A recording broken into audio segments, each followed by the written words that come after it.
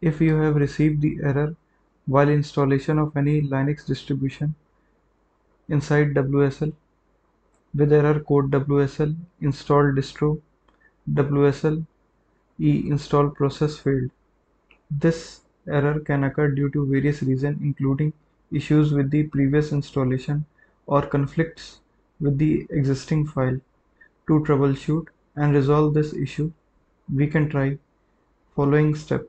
First, we need to unregister the existing Ubuntu installation. So open the command prompt or PowerShell with the administrative privileges.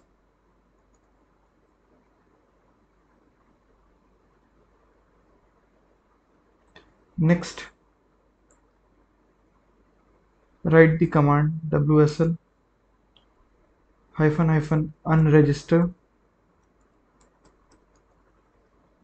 and then provide the Linux distribution name.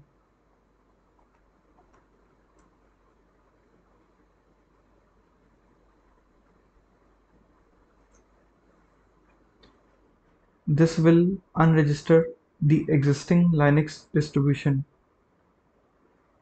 Next, we need to clean up the previous installation.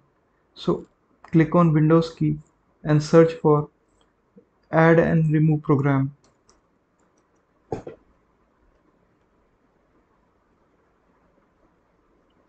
Search for your existing Ubuntu version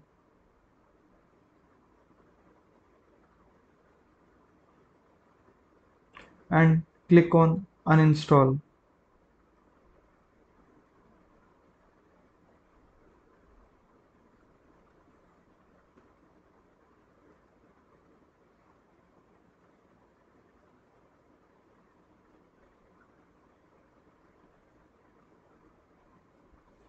Now let's again open the command prompt and let's shut down all the Linux distribution currently running using the command wsl hyphen hyphen shutdown.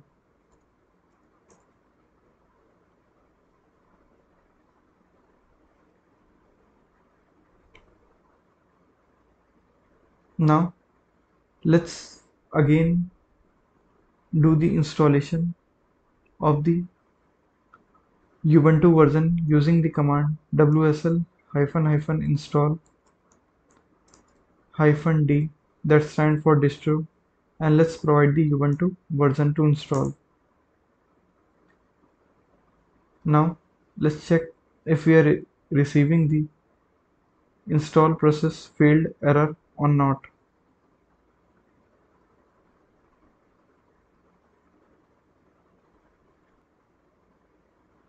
Now you can see the installation of Ubuntu 2.04 LTS version is completed. Now let's provide the username and password. Let's retype the password.